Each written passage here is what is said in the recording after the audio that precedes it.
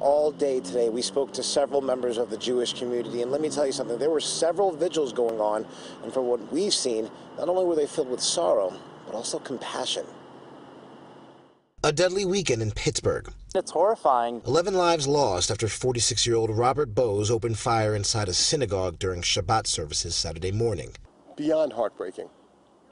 Uh, these are our brothers, these are our sisters. All day Monday, community members from all across the state are remembering those lost. Here at the University of Hartford, Jacob Nemeth helped organize this vigil, not only for members of the Jewish community, but for all people.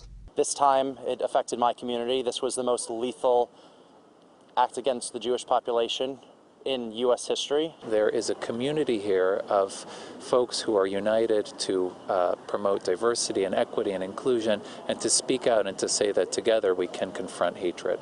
And in South Windsor, faith leaders are holding service here at Temple Beth Hillel. They are mourning their fallen brothers and sisters, but also reminding those of the redeeming qualities of people. We're a community of immigrants, and we don't burn that ladder behind us.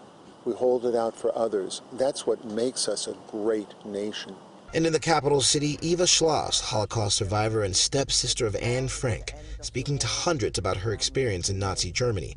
She even spoke about Saturday's synagogue shooting and held a moment of silence for the victims and their families.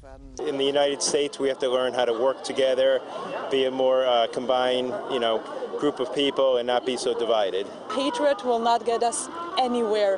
This, the energy there was amazing, and even those people who suffered, like Eva, they have forgiveness in their hearts, and they are. She's trying to bring people together, and I hope this message will come across.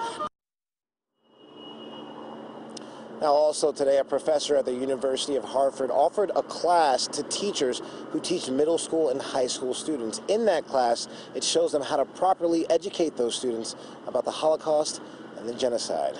For now in Hartford, Ike Ejiochi, Fox 61 News.